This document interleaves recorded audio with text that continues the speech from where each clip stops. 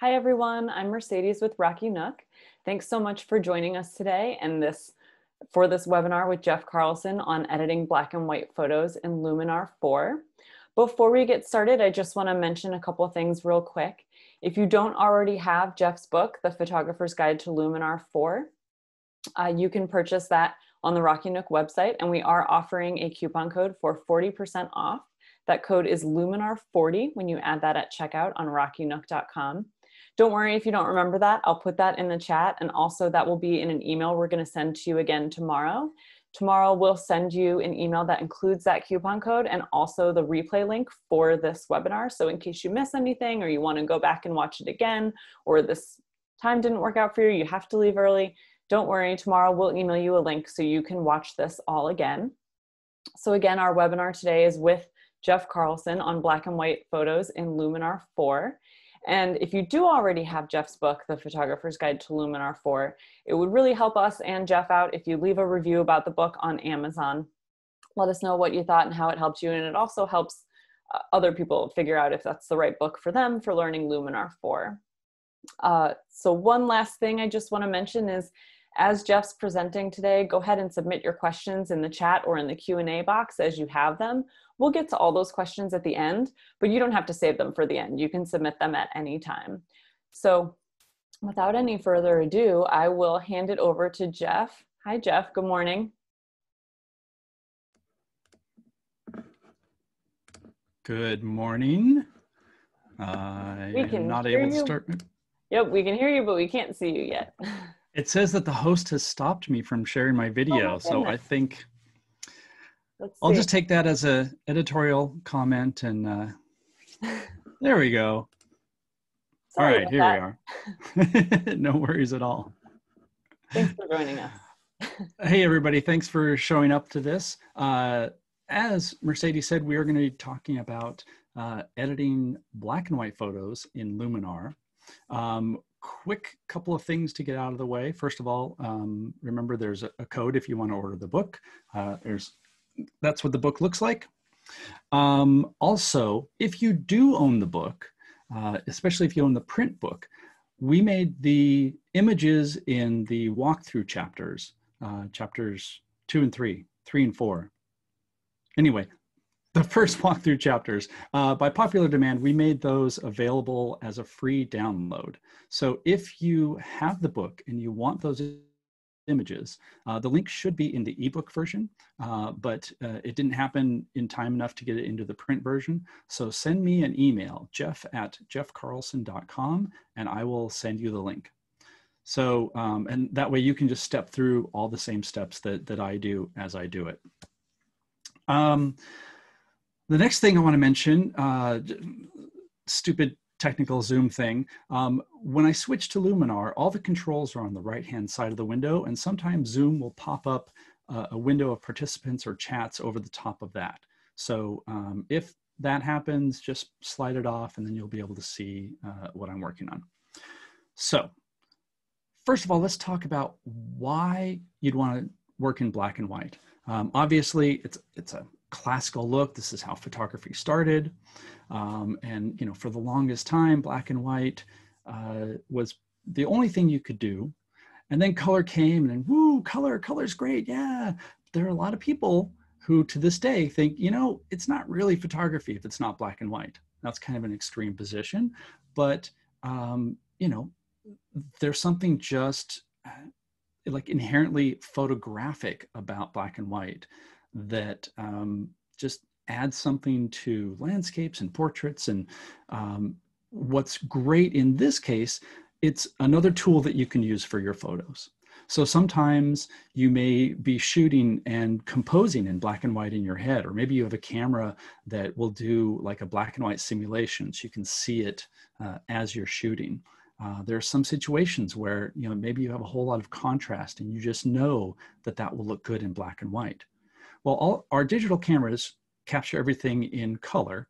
Uh, so we want to do something with that. And what we're going to do is we're going to bring that into Luminar and use Luminar's black and white controls to really optimize and finesse uh, what you can do in creating a black and white photo from a color one. And I say creating in a specific way because uh, yes, you can absolutely just, uh, you know, convert, like there's a big convert to black and white button in every application. And you can do that and it removes all the saturation, makes it grayscale and woo, it's black and white. But if you know black and white photography, if you've seen, uh, you know, the works of the masters, uh, you know that it's not just a matter of removing the color. There's lots that you can do in terms of contrast. Um, in fact, um, color. Color actually plays a big part in black and white uh, conversions and black and white editing, which we'll get to. Um, I should probably also say um, one of the, the podcasts that I run uh, sorry, the podcast that I run. It's called Photoactive. Uh, we talked extensively about black and white in episode three. You can go to photoactive.co and find that. Um, Kirk McElhearn and I, uh, we co-host this podcast, and he's a huge uh, black and white fan and, and knows a lot more about the history of photography than I do. I'm sort of more on the practical side. Uh, anyway, if you want to check that out, we had a really good discussion, and it comes up uh, quite a lot during the the course of the um, the podcast. Um, and the last thing I will also say, I am very much a realist.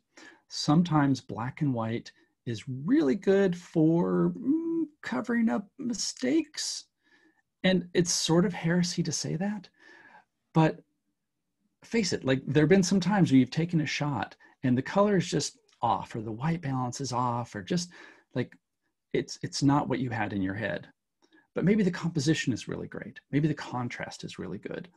In that case, the in that case, switching to black and white uh, can actually improve the photo. Now, you know, you're not going to take a garbage photo and suddenly make it magical by converting it to black and white, but sometimes you can make a good photo into a much better photo by doing a black and white conversion.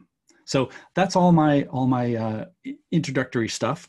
Um, let's switch to Luminar. Now, in this case, I am using Luminar uh, as a standalone app. Luminar can also work as a, a plugin. So if you use Photos on the Mac or uh, Lightroom Classic or Photoshop, for example, you can still use Luminar by taking your your uh, photo and basically sending it using a plugin, and then you edit it in Luminar, and then it round trips back to the, the application that you use for organizing your photos. Um, if you look at my Instagram uh, feed today, I posted a picture that I shot with my iPhone and did this. I, I sent it to Luminar on the Mac and then um, did a black and white conversion and put it back. Uh, so it's still in my photos library, uh, but it has had a Luminar black and white edit applied to it. Um, that's, uh, sorry, on Instagram, I'm just at Jeff Carlson. So if you want to go check that out. Um, so here we are in Luminar. Now, where are we going to start? We'll start easy and then go into the more interesting uh, interesting steps next. So um, a curious thing. So Skylum, uh, which is the company that makes Luminar, before Luminar existed, they had this great application called Tonality. And Tonality was an application solely devoted to uh, editing black and white photos. Now, Tonality's been retired in favor of Luminar, but you can actually get a lot of the same uh, effects and a lot of the same looks from uh, that, that they created in Luminar. So there is a, a um, just gotta look at my notes here. Um, it is called the Tonality Mega Black and White Pack for Luminar. Um, and uh, if, if you go to the Skylum website, skylum.com uh, slash Luminar slash marketplace slash looks slash 53, we'll try to uh, include that link in the, the, the, YouTube notes or wherever this ends up. Um, or just go to skylum.com and, and search for it. Uh, you can download these for free. And what a Luminar look is, is basically a preset. It's a preset that says, uh, you know, it's going to apply a whole bunch of edits and you don't have to do a thing and it's it's really pretty slick. So I'm going to do that now with this picture. I'm going to click looks up here and at least on my there we go. I had to get rid of my own floating palette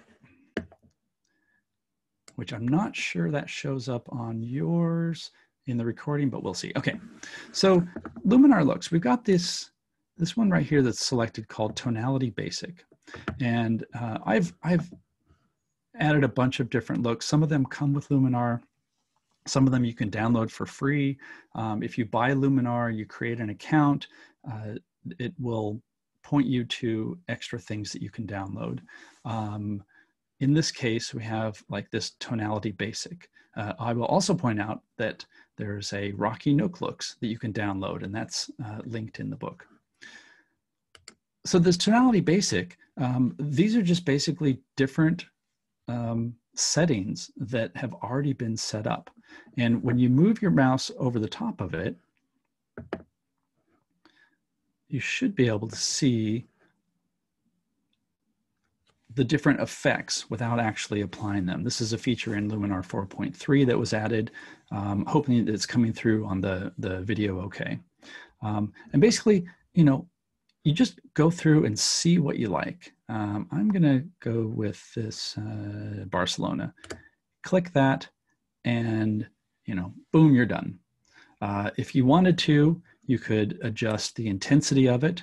And so in this case, we're just kind of removing some of the saturation, but um, you know, I'm looking for a full black and white conversion. Uh, this also Madrid, that looks kind of interesting.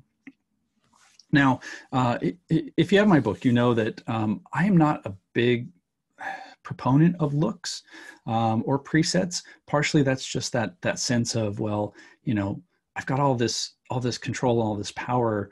I want to manipulate an image the way I want it, not necessarily what somebody else says should it, it should be. Um, and uh, you'll also know that uh, I came to this realization that, okay, you know what, looks and presets uh, in, in Luminar especially, it's not just, oh, I can make this look like, uh, you know, Bob's version of an ideal black and white photo. What I can do is uh, once you make a bunch of settings, you can save them as a new preset. I'm sorry, as a new look. And then uh, that way you can come back to it at any time. So it, it, it's almost like automation rather than just trying to, you know, shortcut into some sort of different look. So if we go over here to the edit uh, panel, um, you'll see over here on the right, um, we've got a few different controls. If you're not familiar with Luminar, basically everything happens over here on the right-hand side. Um, we are currently looking at the essentials controls, and a couple of these have been um, highlighted. So the, the lighter ones mean that an edit has been applied. So in this case, it looks like the Madrid look has added a little bit of AI accent. It's added a black and white conversion. We'll get more into that in a minute. Uh, it's done a texture overlay and a slight glow. So even if you do apply a look, you can easily go back and say, oh, you know what? I'm not really a big fan of the glow portion of it. So maybe I will turn that off and see what difference that makes. So that's, that's kind of the nice thing about looks. Uh, they can either get you there quickly, get you to a, a specific look that you that you want. Um, you can try out a bunch of different things, or use that as a um, you know a starting point. Say, I really like like maybe you know like a, a, a vintage look, um, and then start from there. All right, so those are the looks. Now, let's go back into some, I'm gonna hide the looks for now. I'm gonna go back to our library, our grid. Now let's, let's jump into actually doing some, some conversions ourselves. Um, oh, and I should probably mention, um, feel free to uh, add questions in the chat. Uh, I can't see them while I'm screen sharing, but uh, we'll hit those at the end of, of this presentation. So um, please do ask questions and um, uh, Mercedes will jump in if there's anything that's especially on fire or something, but um, we will take a look at those. Okay. Now, I mentioned earlier uh, the convert to black and white button. Powerful, powerful stuff. So what I'm going to do here is, uh, I'll just sort of reset this. This is the, the original image that I shot. Um, if you know me, if you follow me, um, I am a total sucker for beaded water on flowers, beaded water on anything really.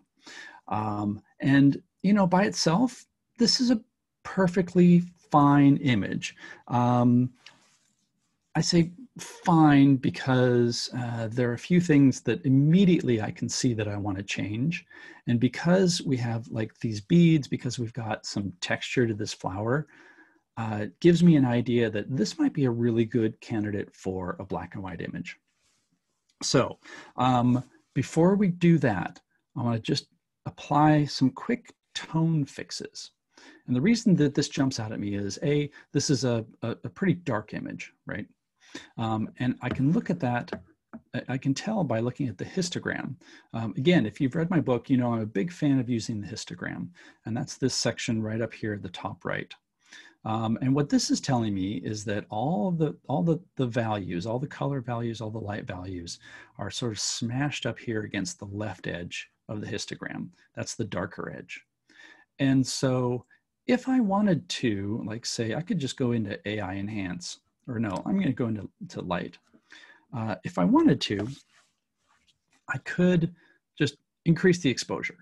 Now, as I do that, you'll notice, hey, it gets brighter.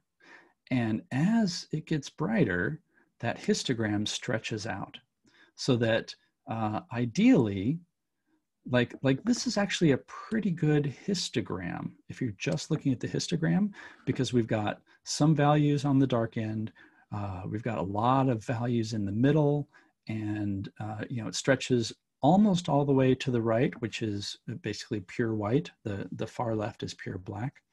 Um, and like just looking at the histogram, you'd think, hey, this is a pretty, pretty well exposed image. Well, when we look at the image itself, now that's, that's way too exposed. So what I'm gonna do is I'm gonna just reset that.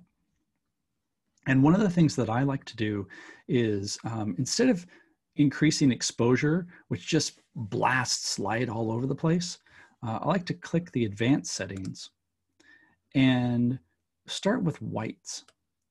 And that's that just kind of that brings up the brightness without all of that that that heavy-handed exposure. Um, in this case, it's still pretty dark, so I'm going to add a little bit of exposure, but you can see the histogram is stretching out without going overboard. And maybe I'll just reduce the blacks a little bit to, to make that just slightly more contrasty. And you're thinking, you're thinking to yourself, um, Jeff, we haven't done anything with black and white here yet. Maybe you're going to get to that eventually. Um, I want to sort of get a good baseline here because you know we'll be able to do all sorts of edits uh, once we convert it to black and white. But here, like like just getting basic good tone is is always my starting point. Now, um, the thing that I want to really convey from this, if you if you think of nothing else, uh, remember nothing else from this, I want you to think that when we're editing in black and white, you're actually editing in color. And I'll show you what that means. So now that I've got my light uh, my basic exposure values set. Uh, I'm going to go over here to the Essentials panel, and I'm going to click the black and white conversion. Now here it is, the big convert to black and white, and we click it,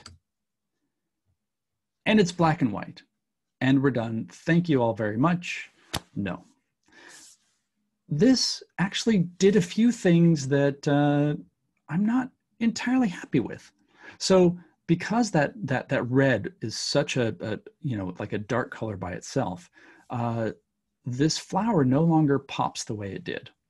um, just sort of turn this off for a moment so you can see the comparison. Like, like the color really explodes. You turn it to black and white, kind of kind of fades into the background. So just converting to black and white by itself only gets us part of the way there. But all these sliders, these luminance sliders in the black and white conversion uh, tool, this is where you have a lot of control over how your black and white appears. Again, many times you can click convert to black and white and it'll be great. But what we're doing is, even though we're only seeing black and white, the the image information in that photo is still there like like what is red what is yellow what is green. And so because of that we can adjust the exposure of those uh, those channels. Excuse me. So for example the red. Let's just hit that right away.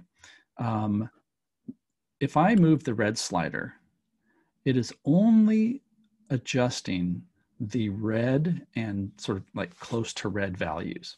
So when I increase it like this, well, suddenly that row, the uh, sorry, tulip, that flower, uh, that flower uh, suddenly becomes more prominent. Now, maybe I want it to be even darker. Like maybe the, the prominence of it is, I, I really want to show that this is a dark colored uh, flower. Um, in this case, I, I do want to bring it up. Now, if this had been like a yellow tulip, then maybe I wouldn't have this same issue. Uh, but because we're in black and white and now we're looking at, at tone and texture rather than sort of relying on, on the big pop of, of red as a color to draw attention, then I definitely want to adjust this red. Now you notice in the background, uh, very little, if anything, changes because of course uh, the background is not red. In fact, we can switch to our before and after so we can see the difference here. Um, looks like, like there might be a little bit of, of, of red in this, uh, little bit of branch, but not significant. So uh, this is what we have for our, our flower. Now, uh, because the background is green, we can also adjust some of that. So maybe we want, we want to raise the green values, or maybe we want to darken them. Uh, maybe we'll darken like some of the blues and the cyans. And even though there's nothing that really looks cyan, uh, you know, colors all blend. So sometimes a moving cyan will actually, uh, you know, produce more of an effect than you might expect. So, excuse me, I'm going to go with the the very scientific, highly precise method here of drag the sliders all over the place and see what happens. Uh, I know it's it's it's too rigorous for some of us, um, but in this case, uh, quite honestly, like th this is how you edit. You you you look and you see what works. Now, I like this quite a bit actually, and I think I'm going to leave that as it is. Now, we're dealing with uh, Luminar as a full editing application. So uh, yes, you know, we, we've done a black and white conversion. We've done some tonal editing. Uh, but of course we have like all of the other tools available to us. So for example, um, I can go up here to uh, AI structure. And AI structure adds clarity of the other applications uh, call this clarity. And the, the AI portion of it specifically refers to if you have a person in the image, uh, normally with clarity, if, if, if there's a person in the image, then uh, you increase the clarity and they look terrible because it, it just accentuates every single wrinkle and fold and, and, and everything bad. Um, what AI structure does is it says, oh, there's a person there. We don't want to apply the clarity to the person. Uh, and so it, it's a really good way of like uh, adding more clarity to a background, for example, and, and not have to then go and, and fix the person. Um, that's an aside, of course, because we don't have any people here. Uh, so what I'm going to do is I'm just going to increase the AI structure. And what this is doing, this is uh, adding more contrast, more uh, local contrast. If we zoom in here, you can see um, you know, part of, of, of, what I'm going for in this image is to really make those those droplets pop because that's like to me that's that's the most interesting thing about the image. So we can uh, increase our AI structure. We can go to details enhancer and apply a little bit of sharpening, maybe uh, increase the small details. Um, and again, I apologize. I'm not sure how well this will come across in Zoom. Sometimes uh, little details when they get compressed to to be broadcast uh, don't always work really well. Um, if you rewatch this, hopefully uh, you'll see more detail. But um, even so, I think you can probably see what's the, you know some of the differences that we're making on this image. So now I've got an image that has plenty of contrast. Uh, the the tones are a lot better, and it just you know in my mind is a better black and white image because we've done some specific things to it to enhance that that that black and whiteness of it if that makes sense uh, the last thing i'm going to do just because i can't help myself um, compositionally i think uh, the the branches and stuff over here on the left is a little too distracting so um, and because this is fairly nicely symmetrical i'm going to go to the crop tool and uh, so up here in the canvas menu, say crop and rotate. Um, if you're running version 4.3, this looks a little bit different than uh, earlier versions. Uh, this tool does, and um, this is something that they just changed a couple of weeks ago. So this is going to look a little bit different than what it does in the book. Um, I put a, a, post at jeffcarlson.com that, that, talks about the differences between what's in Luminar 4.3 and what's in the book. Um, nothing super serious, but you know, you can still see how this works. I'm going to change the aspect ratio to one to one square and bring that in and click done. And that is I think, a pretty good black and white image. Let's do a quick before and after. So there, there it is in red. Great in red, sounds good. Um, but uh, I, I really like this as black and white. And if you look over at the histogram, you can also see that um, you know we've we've spread out that tone. Um, we could probably even go a little bit further to the right if we wanted to by increasing, uh, like increasing the whites. Um, th th this is kind of an interesting, uh, not phenomena, but an interesting effect that you'll find when you start editing black and white photos. Um, even if you make the, the tonal changes in color, sometimes that will uh, need to be either reinforced or re-edited once you go to black and white because of course uh, you're not taking into account all of the, the color. So in this case, I'm gonna, like, maybe I am gonna stretch out the white just a little bit. And there we go. So that is basically like the nuts and bolts of, of using the black and white conversion. Um, again, it's, it's important to understand that, um, you know, just converting to black and white is really only the first step and where you really can get creative and and you know find that that black and white image that you know is there or that you had in your head uh, you, you, do that by moving the luminance sliders. Uh, there's another slider here or sorry another control i should point out real quick um, the saturation slider. Sorry saturation control that has the saturation sliders. Uh, this is the problem when you write books about uh, this stuff because you're like, all right, what's a slider? What's a panel? Um, and what saturation does is that returns color to the image if you want to have like a, a, blend. So for example, we could uh, we could bring some of the red back in and it's only doing the red. Okay, let's go to another another image. Um, look at this, this picture of the mountains. Now this is an example, uh, like I said, um, this is a perfectly fine image. Uh, it On its own, it's not super great. Um, in fact, I'm not entirely happy with the composition, but it has that that that thing of of oh that's really descriptive. It has what what am I trying to say? Like these sorts of of of craggy, uh, just stone mountains without uh, any vegetation on them, like really appeal to me in terms of a, a black and white conversion. So let's do that. Um, and in this, this case, I'm going to convert to black and white, just go straight to it. And, uh, you know, that looks fine.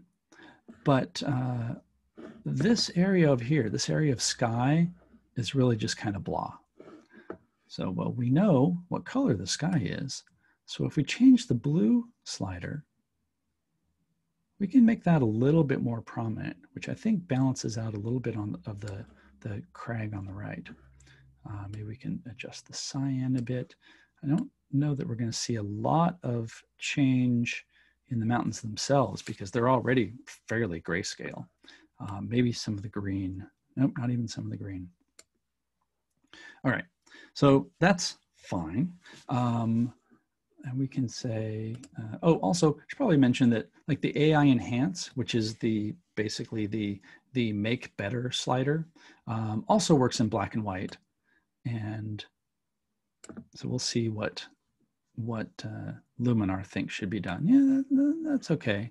I'm going to go do my own thing. So I'm going to go back to, to the light panel. I'm going to increase the whites. I'm going to really decrease the blacks maybe bring up the shadows a little bit and just just make this even more contrasty because also one of the good things to remember about editing photos uh, we don't necessarily have to think about whether this is you know uh, documentary accurate of, of what we saw i mean you know as a photographer you are also an artist and for something like this like i really want that that that darkness to it. Um, you know, you know, like all these these these rich dark veins in the rocks, I think, are really interesting and pop out. Now, uh, another thing about black and white photography, uh, historical traditional black and white photography, is film grain. Now, film grain is kind of an interesting thing in the digital realm because uh, obviously we don't have grain in the sense of you know actual physical particles that are on the film that make up the emulsion of the film so uh, what we have is noise and noise is not the same thing. Noise is basically you know a, a computer generated artifact. Uh, typically when your your iso is set pretty high um, and it's just not the same. So what we can do is, see this image, if I look at the info pane, is this gonna tell me, so yeah, so I shot this at ISO 160 uh, at f8. So there's not, I, I, I, mean, there's basically no noise here. So I can't even think, oh, well, I'm gonna, you know, sort of uh, play up the noise and call it film grain. Um, that just won't work. What I can do, however, is go to these creative tools. And of course, there is a film grain slider. And what this will do is just let us add grain. And fortunately, um, it's not just adding noise. It is, you know, th there's an algorithm involved that's that's trying to make it look like film grain. And again, um, not really sure how this is going to show up uh, over a compressed video stream. So I'm going to really crank it, over crank this just to make sure that we can see it. Uh, but like this is definitely grainy. And if I wanted to, I could click the advanced settings and change the texture of the grain. So maybe I want, I want the grain to be like really gloppy, right? So I can increase the size, increase the roughness, and that is clearly overdoing it but overdoing it for effect. We can really see it over here in this cloud. Now, if we were to, you know, make this a little more, uh, more reasonable, if you were to print this out, then it would simulate a nice black and white grain. So that is, um, I would probably crop this a little bit more, but instead, let me jump to one more photo and go back to the ground and show you uh, basically nothing super new in terms of black and white conversion, but what you can do more of uh, with a photo in Luminar like this. So uh, here's an image. I really like it. I've already converted it to black and white. And um, it is, click down here, black and white conversion. Um, this is just strictly the convert to black and white, uh, one click, that's it. Um, I love all, all the texture in the water and the sun reflecting, but as you can tell, this was shot in the middle of the day. Um, there's a big difference between the the darks and the lights. If you look at the histogram, uh, things are really pushed toward the left hand side uh, because I didn't want to overexpose the bright areas. Uh, you know, and that's that's fine, except that the main subject here, uh, the two girls are are just they're just too dark, right? So what I'm going to do here is uh, jump a little bit into some advanced editing in the sense of uh, using layers. Uh, we did a webinar that just talked about layers and masks that you should check out at the Rocky Nook channel um, or at, at, my, my site, jeffcarlson.com. What I want to do here is I'm going to create a new adjustment layer. And an adjustment layer basically says I can use any of the, the editing tools that will apply only to this layer. So, you know, if, if I wanted to, I could even do another black and white conversion, although that wouldn't make any sense. Um, I wanted to specifically just work the, uh, the, the, the color levels there, but I'm getting a little, little off track there. So what I'm gonna do is, I'm gonna, so now that I'm on my adjustment layer, go to the light panel and I'm gonna, in this case, increase the exposure. And I'm gonna increase the shadows especially. Now, what you're seeing here uh, may make you recoil in terror because, oh my gosh, all of the highlights in the water are just, they're blown. Uh, you know, and sometimes you want, you want that look, but it's, it's lost a lot of the, the texture that I was looking for. So when I'm making these edits, I'm just specifically looking at increasing the exposure and, and the, the brightness just on the people in the photo. Because what that's going to allow me to do now is, and again, uh, if, if you watch any uh, photo editing webinar, this is the part where the person says, and I'm going to do this really quickly because we don't have time to do it a real, real fancy job of it. Um, what I'm going to do is now that I've got the, the tone of them set the way I'd like, I just want this adjustment layer to apply to them. So what I'm going to do is go here to edit mask. I'm going to say brush. And what this is going to allow me to do is once I start painting over them, so uh, Luminar Another new feature in Luminar 4.3 is that uh, once you start painting, it automatically gives you this, this little red uh, indication of where you're painting. So I'm just gonna do a real rough uh, paint here. And what I'm doing is I'm using a brush to just say, all those edits that I just made, I just want to apply to the areas that I paint. So that when I let go, you'll notice that the background is still uh, where we started. So um, what you're seeing is the, the base layer showing through. And uh, the edits that I just made on this adjustment layer are only applying to the people. Um, now, if I wanted to, I'm going to get off of this. I'm going to zoom in a bit because, you know, this is good, but now when I look at them, uh, they're just a little bit soft, right? I would like a little more detail in uh, their faces. And what I can do here is I can go to, as you've seen, the details enhancer. And uh, right now we are uh, making edits to the adjustment layer. And I'm gonna, again, sort of overdo this. But this is giving me some sharpness in their faces. It's also sharpening everything else, which we don't want. And so normally I'd say, okay, well now I can draw a mask and, and do all of that. Uh, but I don't have to do that. If you notice up here on the right in the light, uh, this little blob next to it, that is a small representation of what the mask looks like. So I can right click or control click this mask and say copy. And now with detail enhancer, I can say edit mask. I can go to my brush.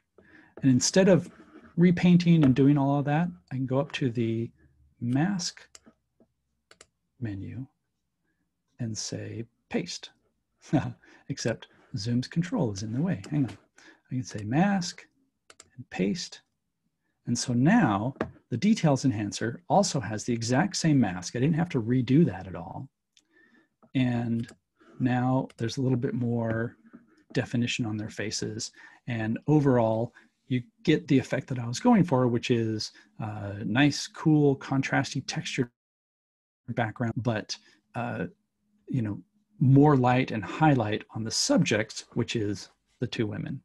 Um, and of course, because I did it quickly, they also look slightly angelic because I didn't make a very good mask. So they're they're sort of glowing, but you know, uh, why not? So that that's kind of the the the real quick, um, not so quick uh, version of uh, editing in black and white. Um, I think now would be a great time for questions, and um, yeah. Hi Jeff, we do have some questions ready to go. Excellent. Um, let's see. Frank asks, why do you want to add grain? To me, that makes an image worse. What's the rationale? Ah, that's an excellent question.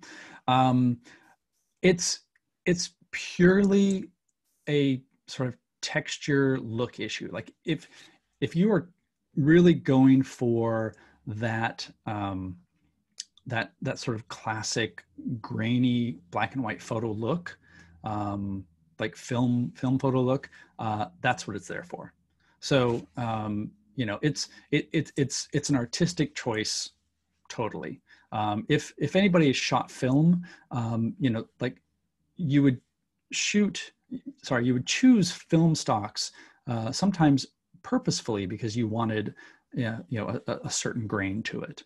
Um, so it, you know, it's.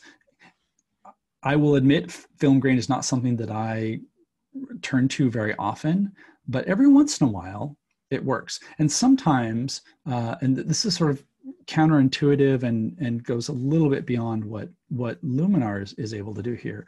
Uh, but sometimes adding grain can what's a good way to put this? It can make up for some softness in an image. So if if your image is slightly soft, you add some grain to it, it doesn't seem as soft. Um, I know professional retouchers will often, you know, add noise specifically because they can rather than than using say like a, a sharpening tool um, they can use the grain to basically fool your eye to thinking that something is just slightly sharper than it is i'm not a professional retoucher so um, if, if there are retouchers out there who are like he doesn't know what he's talking about uh, but i'm i'm pretty sure that that is is actually something that happens uh, and I think you touched on this before, but it looks like a couple people are wondering about this again. Um, yes. They say my Luminar doesn't have any looks. Do I manually download install those? Am I where where do they find those? Oh, um, it should. Looks are are definitely a feature. So um, you should be able to. Let's open this again. Um, so there's there's a button at the uh, top left that says looks, and that's that's uh, how you can make your your looks appear. Um, or I think there's a, a, view menu. Somewhere else it might be available. Um, if you don't have any looks at all, um, then something is a little screwy. Um, you can absolutely download uh, looks and add them. Um, but if you don't see any at all, that's that's unusual. Um, I would say go to the file menu and say uh, it says show Luminar looks folder and see what comes up there. It could just be that that maybe there was something with the with the installation that um, uh, it didn't didn't quite catch or something. I saw someone um, else in the chat just said that you need to have an open image to have the looks appear. So maybe that helps them. And also, I oh, just oh, yeah. say if if they're they're still having trouble with the looks, um, definitely something to contact Skylum or Luminar about, and their tech support can help you too. Yeah, yeah, yeah, definitely. Uh, what else do we have here? Uh, a question arose in the Photo PXL forum about the color working space allowable in Luminar 4. Are conversions limited to sRGB, ARGB 98, or ProPhoto RGB? That is a very good question. Um, and I, I knew this. Um,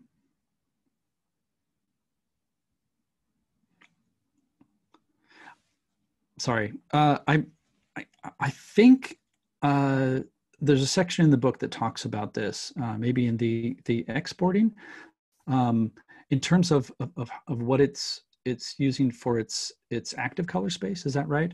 Um, I'm not sure. I want to say ProPhoto uh, RGB, but it may be defaulting to sRGB. Um, that would definitely be a, a question for Luminar. I don't know that off the top of my head. Okay. Very good question, though. Is there a targeted, uh, excuse me, is there a targeted adjustment tool within the black and white conversion filter? Um, targeted adjustment, well, sort of. Um, so the way the way Luminar does uh, targeted adjustments are with masks, and so um, every actually every single tool um, with one exception, has this edit mask uh, menu down here. And so um, if you wanted to, like, like let's say, let's get rid of this. Um, this is a little bit, like, like let's say you wanted to um, do a brush of the black and white conversion actually what I need to do is I need to just uh, reset the adjustments on this. Okay, I'm going to revert this to original. Um, and now if I want to say, I'm going to convert this to black and white, boop, but I really only just want this front thing in black and white. So I would, I would say edit mask, uh, choose brush or radial or gradient or what have you. And then do my little painting and you'll see that only that that section. So in, in that sense, there's there's like the the the targeted uh, that you're talking about. And so now I could say like, okay, I'm, I want to adjust the sliders for this. Okay. Now, um, what you could then do is um, like, let's say you want a different section, like like maybe you want to you want to really work on the, the, the blues and the magentas in the flower section, but you want to do a different uh, black and white conversion for the little vase. Uh, what you could do in that case, I'm just gonna, I'm gonna erase this part of the, of the uh, mask. All right. Um, in that case, I'm gonna click done. Uh, then we create a new adjustment layer, go back to our black and white conversion, do another convert to black and white, and just you know do something screwy to make it really obvious what I've done, and then make a new mask that just covers that one section. So what we have now is uh, we actually have two black and white conversions going on, but we have one black and white conversion with uh, luminance settings for the flower part and then another black and white conversion with luminance settings for the vase. And that's, that's enabled through layers. Um, the, through having adjustment layers. Um, and also the, the fact that, that every tool and actually every layer, so the entire layer can have a mask, but also every tool can have a mask. The only exception to that is when you're on your, your base layer, uh, the light panel does not let you uh, create a mask because there's basically nothing underneath it. It would just be uh, darkness, I guess. I hope that answers the question. Yeah, and you that kind of leads into the next question I have here, which you just did kind of touch on. Um, mm-hmm. But we can go. I think you could probably go over it again more briefly, which is uh, how would you go about converting an image to black and white while leaving a single color present? It looks like you kind of did the reverse of that just now. Yeah, yeah, exactly. In fact, um, let's let's say uh, orange, right? Let's let's say we. Uh, I'm going to just reset the adjustments on here and um, like well let's say the only thing that i like is is the purple right? Crazy about purple. Woohoo! Um, then what i would do here is i would say black and white conversion. I would convert it to black and white. And um, either go to the saturation uh, control here and then just bring up like say the magentas. And maybe, actually maybe not even the blues maybe just the magenta and that that just brings up that specific color. Or if i was looking more sort of object level then i would create a mask paint over the area that i wanted to to uh, show up. Okay. And then i can go up to the mask menu and invert the mask and that gives me uh, basically now everything else is hidden or sorry everything else is is uh, has my conversion uh, applied except for this area here that shows through from the from the the, the original someone else asked and I, I hope they'll chime in if if your last two answers aren't covering their question because I think it did. But he asked, does, does Luminar 4 support making a mixed black and white and color photo? So if if we didn't just cover that, go ahead and chime in and let us know more specifically what you're curious about. Um, yeah. That one covered that. Let's see. Yeah, with with layers and masks. Um, so Luminar is is sort of interesting in the fact that um, like you don't have to do layers and masks at all to to do editing and, and get some really great results. But if you know how to use layers and masks, uh, like you can really get deeper into different edits. And what's also nice is, um, as far as I know, uh, like the only limitation for for masks is um, I'm sorry for layers is um, like the, the amount of memory that uh, Luminar has available to it. So um, you know you can build really complicated layers um, that each have their own black and white conversion uh, effect applied or other other effects. Um, and you know really fine tune things if if that's what you're looking for. Okay here's another question. Uh, let's see. DJ says, I frequently have problems with banding in my digital black and white images. Suggestions how to minimize this either in Luminar or in the camera settings? Um, surprisingly, um, film grain. Film grain uh, will often uh, sort of offset some of that banding. Um, I'm not sure what what is is causing the banding. It like if the banding was there and then you did a black and white conversion and it just accentuated it. Um, but quite often, um, adding adding some noise, adding some um, uh, some grain uh, will will offset banding. So you see if there was there was a way to like specifically add noise, and there there's not. Um, off the top of my head, that's that would be the way to do it in Luminar. Um, although I'm not sure what would be causing the banding. Um, that like like if, if that's something that's coming up a lot, um, it it might be the camera. I'm not sure. It, it would be worth looking at the in like maybe a couple of different uh, applications and see how they're how they are uh, perhaps uh, interpreting the raw file or if it's just a JPEG file. Um, check and make sure that the the JPEG setting on the camera is set to high um, because it it could be you know like like for example if you have a sky that's that's pretty much just like a blue sky a blue gradation um, it if the camera is set to uh, like like medium quality for jpeg uh, you might get more banding because the the, the camera is um, the camera is actively compressing the image.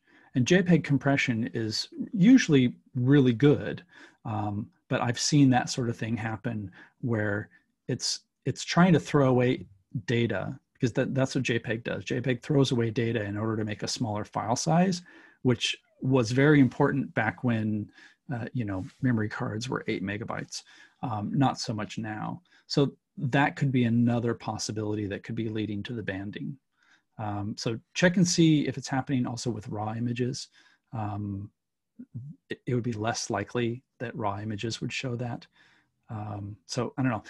It's kind of a scattershot answer because there, there are a few different things that could be contributing to that. Uh, next question. I often do much of my processing in Lightroom before sending the image to Luminar. Do you think Luminar does a better job of black and white con conversion than Lightroom? Mm, that's a really good question. Um,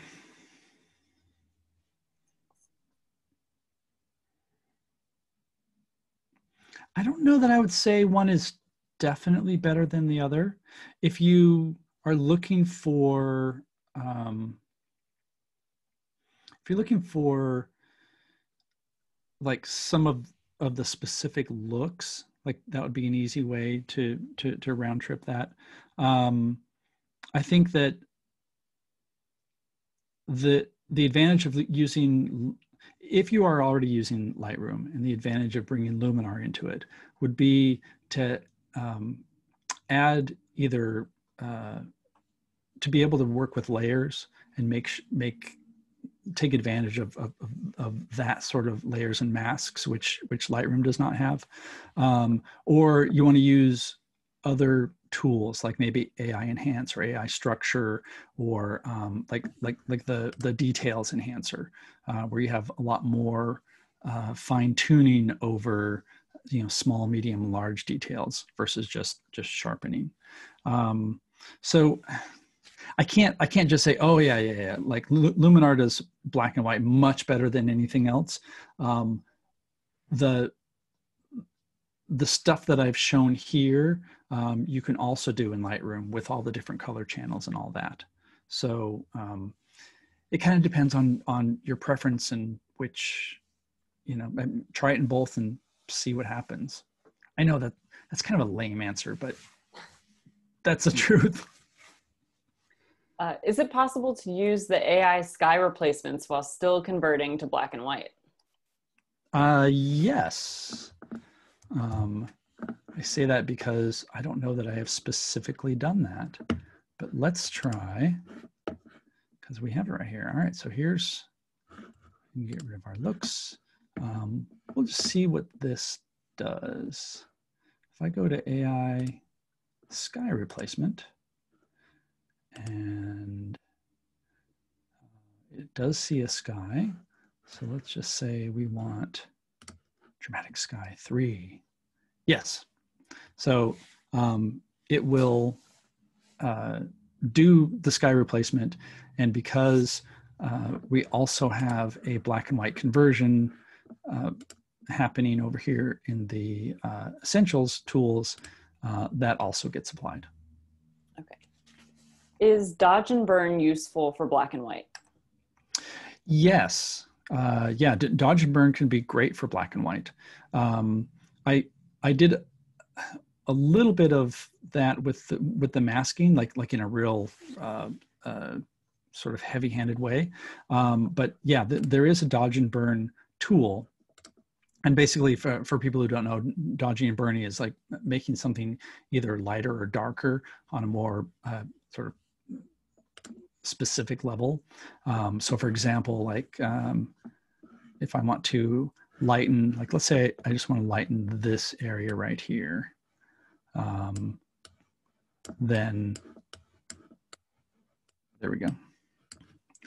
Uh, this also a very ham-handed uh, effort, but yeah, um, it, dodging and burning um, also traditionally used in black and white photography um, when you're you're getting down at that level of okay, everything looks really good, but I really want to bring out this one section, or I want to you know minimize another section.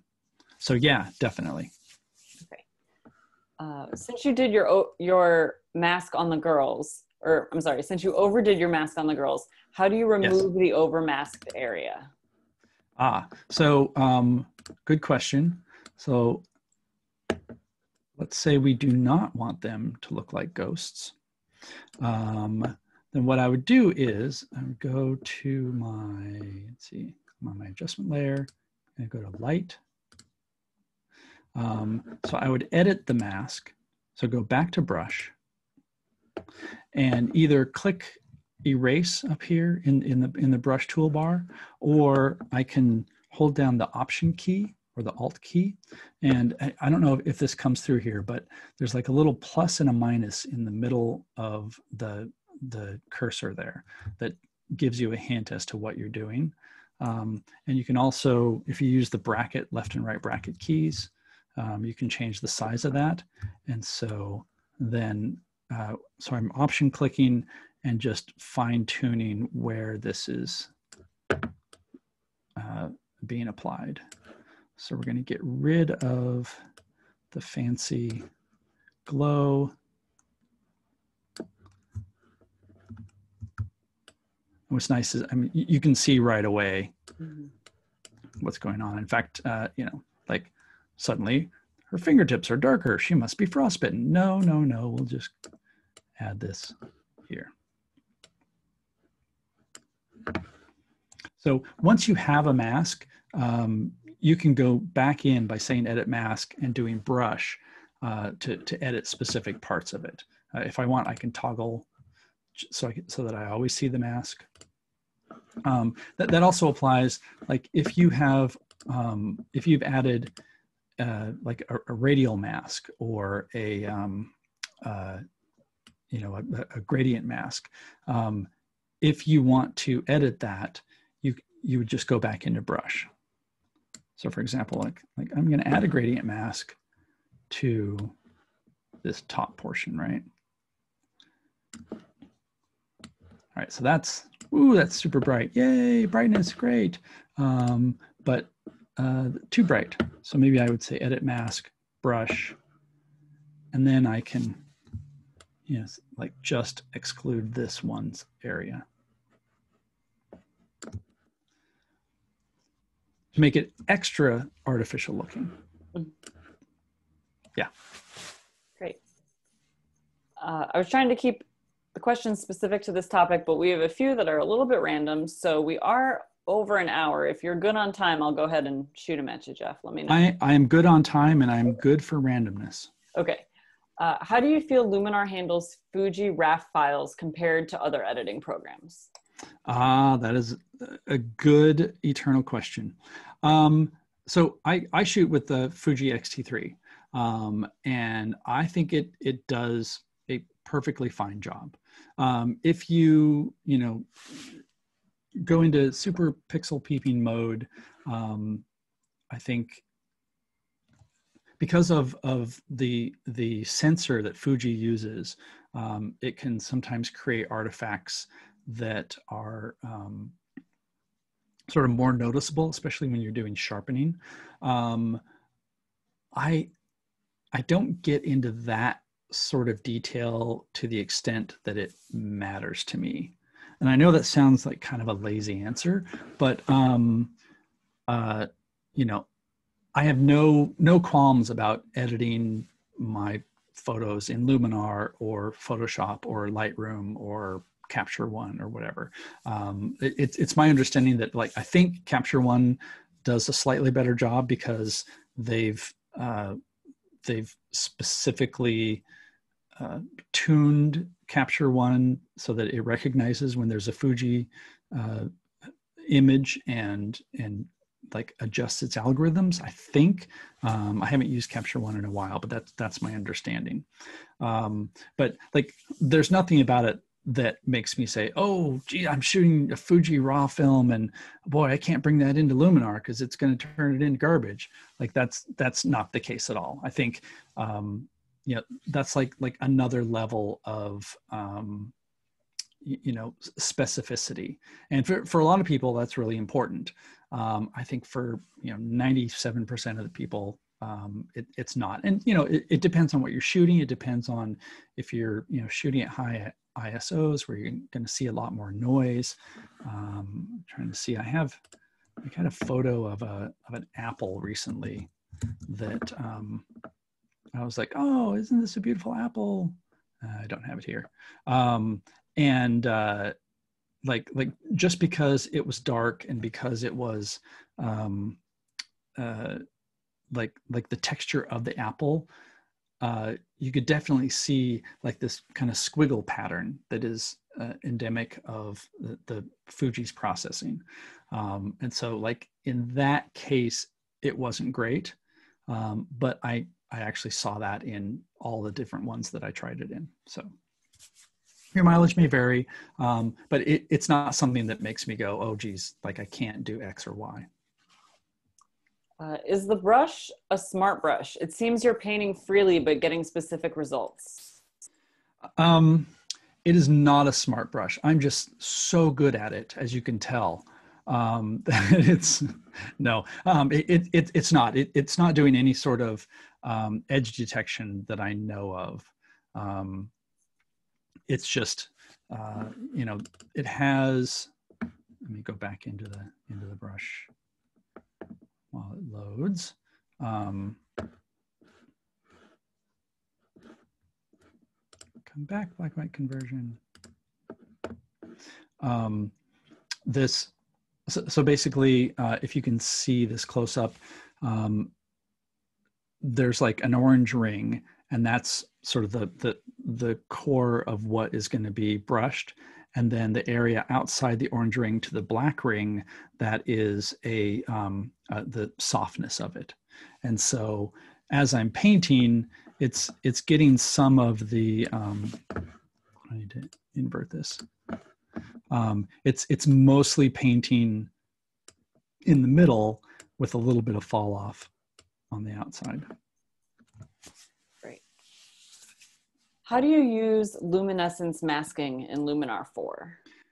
Oh, that's a good one. Um, uh, so I would encourage you to go um, go see the the previous webinar that talks about uh, masks and um, and layers because we we covered that there. Um, very it's a very short way of explaining. Let me see if I can jump to this. Um, so luminance masking basically uh, looks at the at the lightness values of all the pixels. And things that are lighter are selected and things that are darker have less of a selection. Um, see if i had an example. I think maybe i did it on this. So um, if I were to,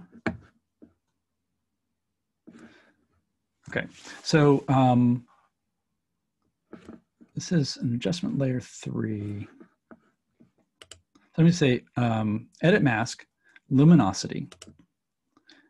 And what it does is um, it, it basically just makes a black and white mask of everything. Um, and Let's see if I can make this work. What's what, luminosity masking is really good for something like like a waterfall pick. Probably shouldn't have done this with the with the black and white conversion. I should have done it with the light. Um, and the idea is uh, I don't want to affect any of the dark areas. I just want to affect all the bright areas. So in this case, um, if we could look at the mask, so I'm going to, I mean, I'm to edit mask and say brush, only so that we can look at the mask. And so it, it's not all red. Um, if you notice, like like these areas here, which are the brightest in in the image, uh, those are red, so those are masked. But this area over here, the rocks, has very little masking applied. So now, I'm going to exit that. Um, so now, if I want to say, I, I just want to make the white uh, waterfall streams pop a little bit more, then I can just uh, use the white slider or the exposure slider, and you'll notice that that just those areas are being affected. This this darker area is not. Um, what's what's especially good for something like this is uh, like you might have this these areas that I think I've, I've done on another layer, but um, like it, it might be just too bright. And so like say you would add, or you would adjust your highlights to add a little more definition to them. So that's the, that's the like three minute luminosity masking uh, explanation. That's right. That was our last webinar. So that's that's up on our the Rocky Nook YouTube channel, and it's also on the Rocky Nook website. Um, if you look in the kind of menu bar at the top, there's uh, an item that says, I, I, believe it says freebies, and then that menu drops down, and you can go to webinars, and you can see Jeff's previous webinar there, along with some other ones we have. Um, so last question.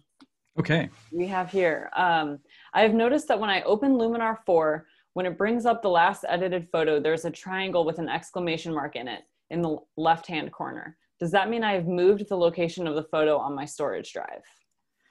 Uh, I believe so. Um,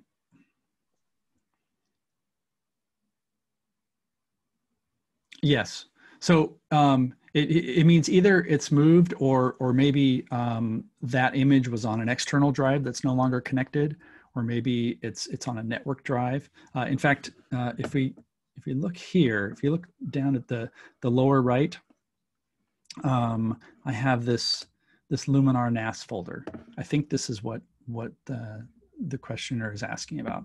Um, and what this means is right now, um, my, my NAS, my network attached storage drive is not currently connected. So Luminar knows that it's, that it still belongs to my library, um, but can't really do very much because it doesn't have the image available. So it's it's kind of throwing that up to say, hey, uh, you know, I'd love to help you, but can't do it until the, that file is available. Great.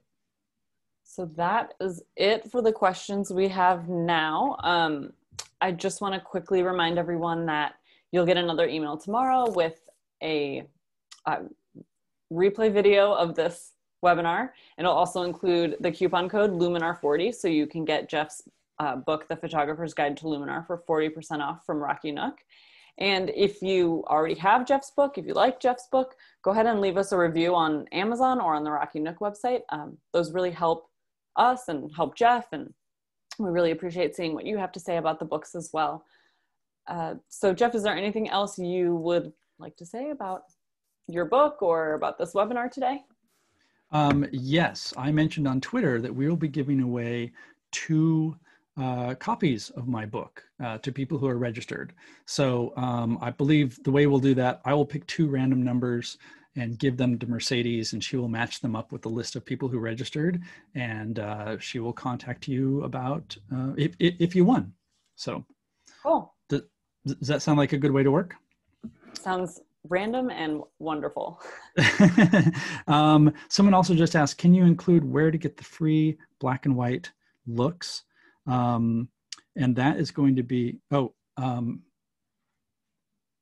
that sounds like something that would be good for, for the email. Is that something we can put in the email? Yeah, okay. absolutely. I, I will send that. Um, it is skylum.com slash luminar slash marketplace slash looks slash 53 because of course that's where someone will instinctively go looking for something like that. But yes, we'll include that. Great.